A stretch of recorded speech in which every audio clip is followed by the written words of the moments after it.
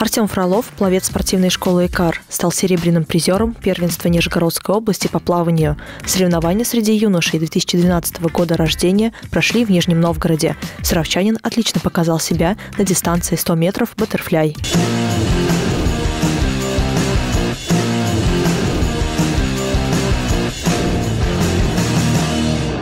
Артем Фролов плавает с трех лет. В спорт его привела мама, тренер спортивной школы ИКАР Виктория Шалыгина, которая вырастила не одно поколение чемпионов. Напряженные тренировки шесть раз в неделю мальчика не пугают. Для него плавание – лучший способ снять напряжение. Если у тебя, например, был тяжелый день, ты пришел, поплавал, расслабился, когда ты чувствуешь, что ты набираешься сил.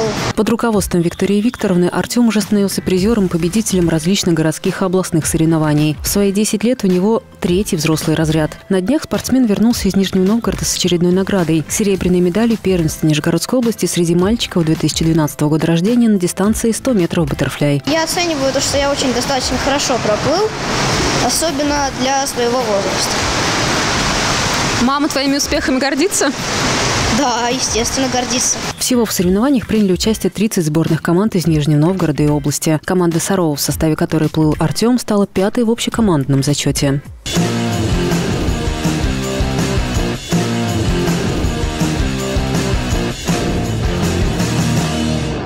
В седьмой школе стартовал муниципальный этап первенства школ города по волейболу среди девушек. За победу борются 10 команд. Второй день соревнований был щедрым на эмоции и поддержку болельщиков.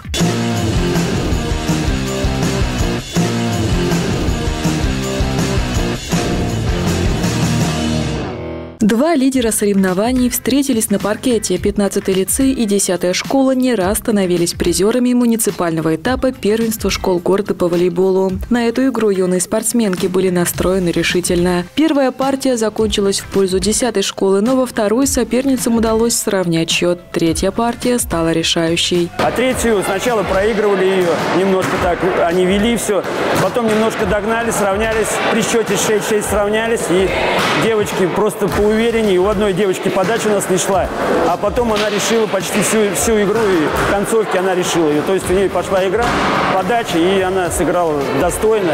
Хотя Валерий Иванович ругался на нее постоянно. За первое место в муниципальном этапе первенства борются 10 команд школ города. Их разделили на две группы. Лидеры каждой группы выйдут в плей-офф на стыковые матчи. Игры были эмоциональными не только для юных спортсменок, но и для самих наставников. Им важно было поддержать команду, настроить на победу, давать советы в ходе игры. Девочки, они всегда непредсказуемы. С девочками очень сложно играть. Где-то надо похвалить их, где-то поругать надо. Психология у них очень интересная. Они могут просто стать и оставить всю игру. А могут просто играть и побеждать. Бывает, что старшим девочкам уже тяжеловато ходить. У них сейчас репетитор 11 класс. И остальные девочки 9 класс.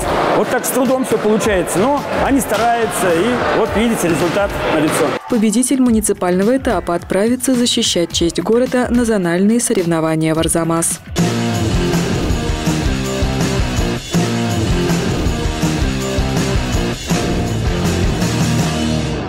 1 декабря спортсмены спортивной школы Олимпийского резерва «Атом» присоединились к всероссийской акции «Спортивная зима», посвященной открытию зимнего спортивного сезона.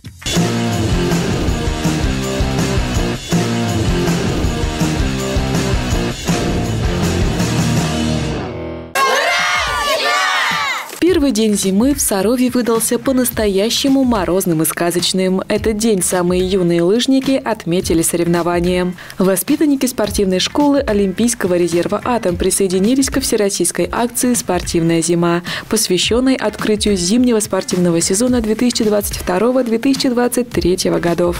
Мне нравятся лыжи, и от лыж мы становимся сильнее. Я умею уже кататься коньком.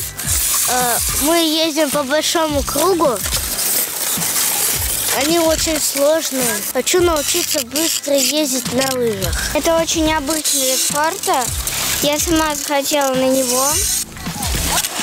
Очень мне понравилось. Я решила дальше продолжать. Мы катаемся по восьмерочке, по двойке. Иногда, надеюсь, скоро на тройку пустят. Я пришел первый раз на лыжи, и там я могу упасть, там всякое такое. Ну, со временем все получится всегда у всех. Ребята получили заряд бодрости и позитива. На финише участников массового лыжного забега также ждал маленький сюрприз. Им вручили открытки с автографами олимпийских чемпионов. Зимний сезон на лыжной базе планируют открыть 18 декабря. По праздникам и соревнованиям сезон обещает быть насыщенным. Планов всегда очень много. Сезон, как обычно, насыщенный. Очень большое количество соревнований, спортивных мероприятий. В январе это чемпионаты первенства Нижегородской области по лыжным гонкам. Кроме этого, наше традиционное мероприятие – это День снега. В феврале также и Лыжня России, и мемориал Музрукова. И также будем проводить здесь первенство области. Все трассы лыжной базы готовы и ждут горожан, которые любят проводить свой досуг с пользой для здоровья. Здесь есть и оборудованная зона для катания на ледянках и сноутюбингах.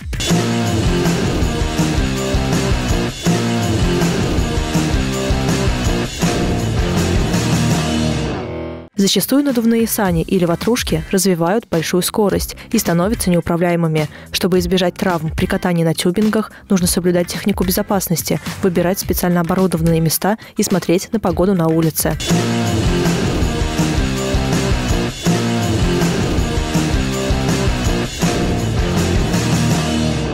Не успели холода прийти в наш регион, как любители зимнего досуга уже вышли на первый тонкий лед водоема, чтобы порыбачить, покататься на коньках и ватрушках. Такую картину зафиксировал Нижегородец на видеокамеру.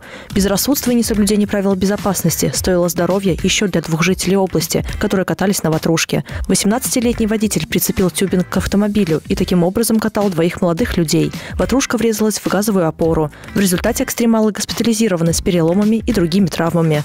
Важно помнить, что любимая зимняя забава не так безобидна. Вывихи, переломы, ушибы – вот лишь малая часть травм, которые можно получить при несоблюдении правил безопасности. Там, где все это импровизировано, то есть во дворах или где-то там, допустим, на склонах каких-то случайно приспособленных происходит, там всегда это идет повышенный травматизм, то есть игра в лотерею. То есть как бы выжил, хорошо, молодец. Травмы могут быть самые непредсказуемые, как бы, скажем, зависит от, кого, от скорости, с какой ты несешься, с такого склона, и какие препятствия там внизу тебя ждут. Правильно подберите размер ватрушки. Для этого обратитесь к специалисту. Не съезжайте вдвоем, особенно если изделие рассчитано на одного человека. Крайне опасно привязывать тюбинг к бамперу автомобиля, поскольку шанс оказаться под колесами очень велик.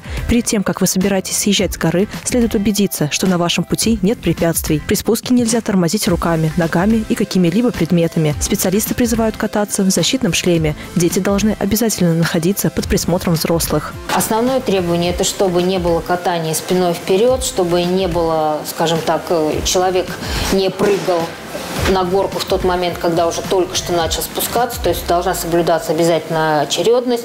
И также нельзя кататься на ватрушках э, в состоянии алкогольного или какого-либо другого опьянения.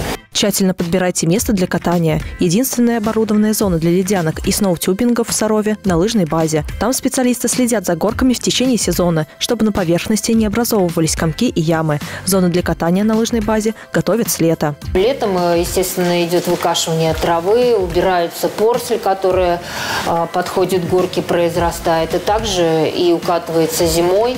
Это ретраком обе горки укатываются, чтобы была более ровная поверхность, чтобы если потому что народу катается очень много, и трасса иногда, скажем так, обледеневает лед образуется. Поэтому, естественно, артраком ее разбивают, чтобы не такая сильная была скорость, и в то же время ватрушку не выносила на лыжную трассу. Не катайтесь на ватрушках в оттепель и при небольшом снежном покрове, так как при спуске с горы тюбинг может резко затормозить, а при сильном обледенении горки можно получить различные травмы. Лучше дождитесь устойчивой снежной погоды. На лыжной базе зимний сезон планируют открыть к середине декабря.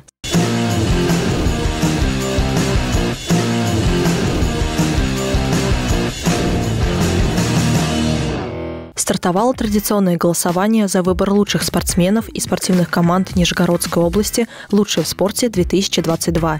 В нескольких номинациях представлены спортсмены и тренер спортивной школы Олимпийского резерва «Атом», спортсмен года Артем Мальцев, молодое дарование в олимпийских видах спорта Никита Родионов, за преданность спорту Седов Николай Евгеньевич.